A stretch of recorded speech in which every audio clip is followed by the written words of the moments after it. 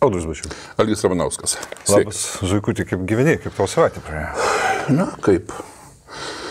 Kaip gali praeiti lapkričio antros pusės savaitės? Niriai, niukiai ir neįdomiai. Mačiau, Facebook'e buvo nuotraukų, kur Kalinausko laidotuvėse tu prie tvoros geriai pigiai degtinę. O, tai būtų buvę gerai, bet dėja tai buvo tik tiesybė. Sveiki visi, kurie mus žiūri ir kurie mus remia.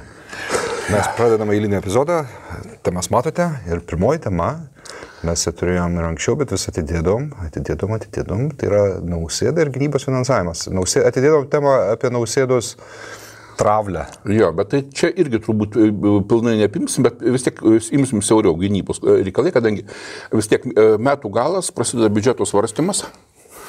Mm, tai visada būna įtemptas laikotarpis, kiek aš atsimenu, bet Turbūt pirmas kartas mano atminty, e, vat, po 14 metų, tai yra pro, po Rusijos agresijos Ukrainoje, kada garsiai išdrįstama pasakyti, jog reikėtų sumažinti tiesiog kelti mažiau negu planuota gynybos biudžetą.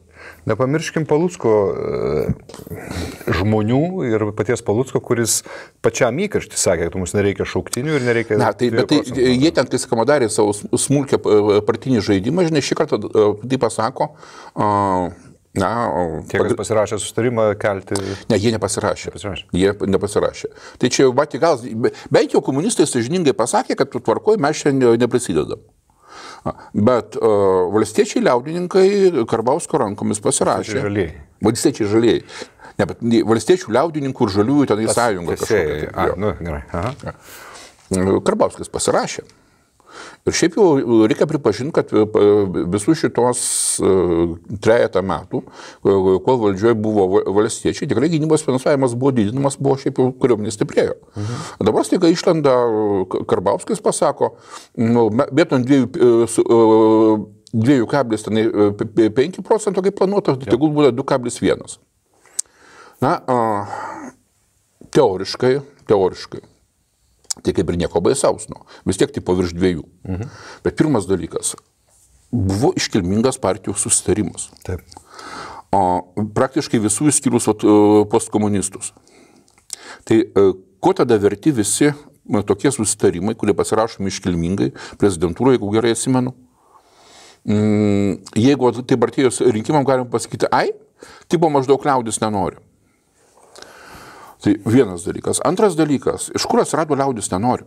O čia buvo, žinai, labai, neš... aš suprasčiau, jeigu iš tikrųjų būtų kažkokia tai, na, rimti tyrimai padaryti. O čia buvo tokia, žinai, nu... Kalbėjai apie Delfiją. Jo, aš kalbu apie apklausą Delfiją, kurią padarė, buvo padaryta Delfio užsakymu. O Spinter tyrimai, kurie beje apskritai kaip politiniai e, tyrimai yra nelegitimus, kadangi jie apima tik tai žmonės iki 75 metų amžiaus, o tokių virš 75 rinkėjų yra e, apie 200 tūkstančių. Tiek daug. Taip, taip, taip, pas mus amžius ilgėja. Mhm. Bet tiek to. Klausimas pats, kai jį perskaičiau, supranti, man akis išlipo ant kaktos. Lietuva gynybai šiuo metu skiria beveik 2 e, procentus e, bendro vidaus produktų. Iki 30 metų tam planuojame skirti 2,5 e, procento, nes reikia tęsti kariuomenės modernizaciją, stiprinti pajėgumus.